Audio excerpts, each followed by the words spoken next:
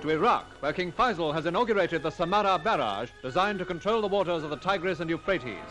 The project, carried out by a British firm, will prevent flooding and bring cultivation to once barren land.